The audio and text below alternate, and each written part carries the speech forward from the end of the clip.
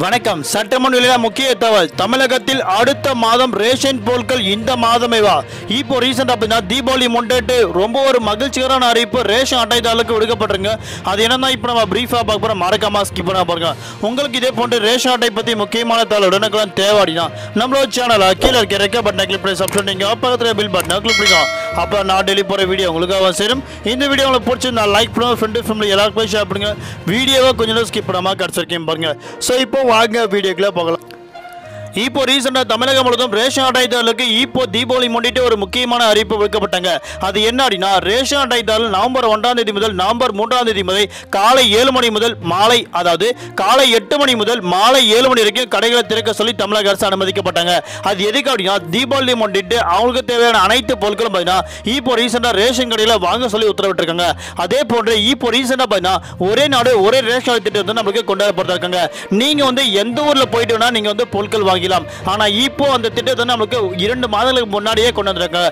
என்ன அப்படின்னா இப்போ நீங்கள் யூஸ் பண்ணுற பயோமெட்ரிக் முறை மூலிமா நீங்கள் பொருட்கள் வாங்கும் போது அதில் பொது விற்பனை அப்படின்ற ஒரு ஆப்ஷன் இருக்கும். அந்த ஆப்ஷனில் போயிட்டு நீங்கள் வெளியூர்லேயே இருந்தாலும் ஆனால் அந்த ஊரில் போயிட்டு பொருட்கள் வாங்கிக்கலாம். அதுக்கான ஒரு புதிய அறிவிப்பு தமிழக அரசு விடுக்கப்பட்டாங்க.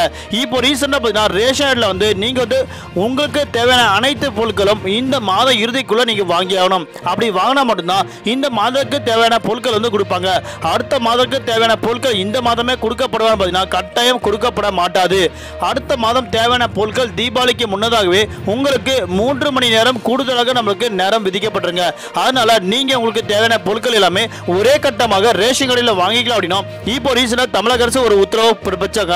ஆனால் இப்போ ரீசெண்டாக பார்த்தீங்கன்னா கூட்டுறவு மற்றும் உணவு பாதுகாப்புத்துறை செயலர் நசீமுதீன் அறிவிப்பில் சமீப காலமாக சமூக வலைதளங்களில் மத்திய மற்றும் மாநில அரசு அலுவலர்களையும் ஆண்டு வருமானம் லட்ச ரூபாய்க்கு மேல் பெறுவர்களுக்கும் ஏக்கர்கள் மேல் நிலம் வைத்தவர்களுக்கும் விவசாயிகளுக்கும் மூன்று அறைகள் உள்ள காங்கிரீட் வீடுகளில் வசிப்பவர்களுக்கும் ரேஷன் அரிசி வழங்கப்பட மாட்டாது என பொய்யாக தகவல் வெளியிடப்பட்டுள்ளது.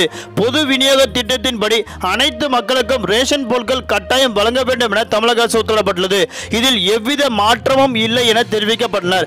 அரிசி கார்டுகளுக்கு இலவச அரிசி மற்றும் மானிய விலையில் பொருட்கள் தொடர்ந்து வழங்கப்படும் என ரீசெண்டாக நம்மளுக்கு ஒரு முக்கியமான அறிவிப்பு எடுக்கப்பட்டிருங்க அதனால நீங்கள் வந்து மூன்றடுக்கு வீடு கட்டியிருந்தாலும் சரி நீங்கள் கவர்மெண்ட் ஜாப்ல இருந்தாலும் சரி நீங்கள் பத்து பதினஞ்சு ஏக்கர் நிலம் வச்சிருந்தாலும் சரி எல்லா மக்களுக்குமே அனைத்து ரேஷார்ட்டையும் நம்மளுக்கு கன்ஃபார்மாக பொருட்கள் வழங்கப்படும் அதில் எந்த ஒரு மாற்றமும் கிடையாது.